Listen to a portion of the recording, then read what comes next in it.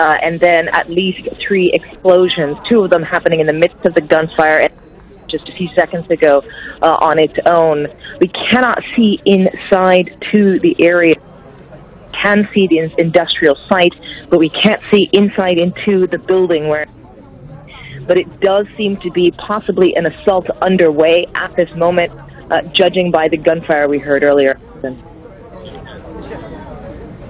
Uh, and um, the the location, Chris. Obviously, this is this printing shop that the Kouachi brothers uh, had uh, apparently gone into earlier this morning, taken the the owner, we believe, hostage. Um, what's interesting, and, and I, I know you've been uh, reporting this uh, as well, uh, the, the suspect in the other hostage standoff has been demanding the release, the freedom for the, the Kouachi brothers.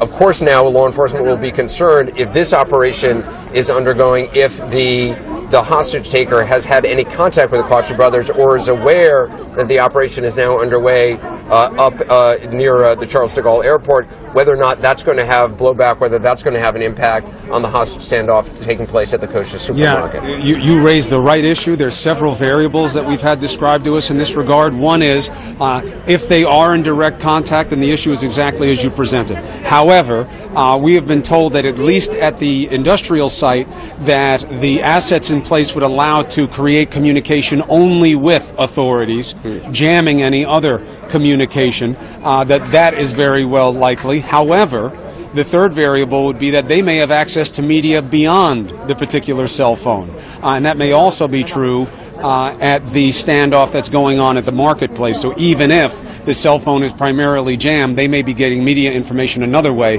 and that could create a complication. We're also being told, Anderson, about this operation that's in progress.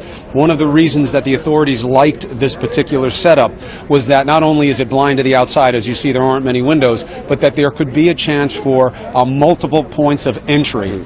Uh, and the flashbangs are obviously a, a, telltale sign of a deceptive uh, operation, and you see men climbing around. There could be uh, two different angles of assault going on at the same time within that building. But again, I'm being told it's not over. And, and Tom Fuentes, obviously, you would want as many entries as possible uh, to try to uh, come at this. Uh, from as many uh, different ent- entries as possible, as many different vantage points as possible.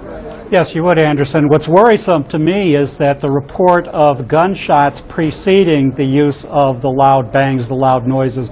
Normally in a SWAT rescue operation, dynamic assault, those grenades are used because they're so loud, and especially inside a building or a confined room, that they stun the central nervous system of everybody, including the hostage taker, allowing the rescuers at least one second free time to run in and hopefully neutralize the hostage taker. If you heard gunshots first, that's a, a, possible sign that this thing went bad and that the hostage takers shot first and then they used the grenades afterward and, and did the rescue. So normally the, the loud bangs should have preceded small gunfire. Uh, and simply, we don't know at this point uh, what the status of uh, these two brothers is.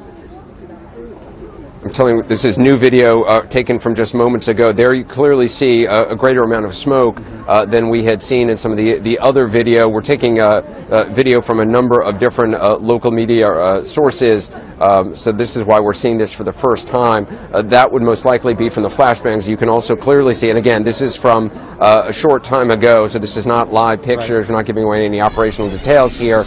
you see some individuals, it looks like,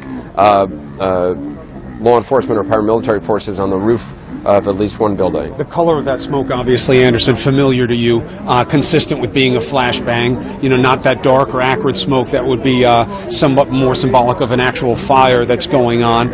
Uh, we're also told that a medic helicopter is arriving on scene. Uh, uh, you know, the supposition there would be that there's a need to evacuate wounded. Uh, there is an early indication that the operation may be finished because they're moving in that helicopter. We're awaiting further information. And there you clearly saw one of the flashes going going off. Again, uh, uh, Tika Shubert saying she heard uh, shots before she heard some of the, the, the explosions, the, the flash bangs. Earlier, local local police, local law law enforcement had said that they had been in contact with, actually, this is from a local lawmaker, that law enforcement had been in contact with at least one of the hostage takers, one of the Kouachi brothers, uh, who said that they uh, were uh, willing to die and wanted to die uh, as martyrs. Uh, again, we do not know if uh, uh, what the status of these two suspects is at this point, and we should point out there is still this other hostage standoff happening not all that far away, about 25 or so miles away, uh, in a kosher supermarket. At least one hostage taker holding what we believe may be as many as six hostages. Uh, there have been some wounded, uh, some reports, local media reports of uh, at least one or two fatalities earlier in the day uh, in the initial, uh, in the start of that, uh, that hostage taking incident. But we don't know if we cannot uh, independently confirm whether or not there have been fatalities in that incident. That standoff, though, uh, still ongoing. Uh, but it seems like um, this standoff in this industrial park at this printing shop has ended.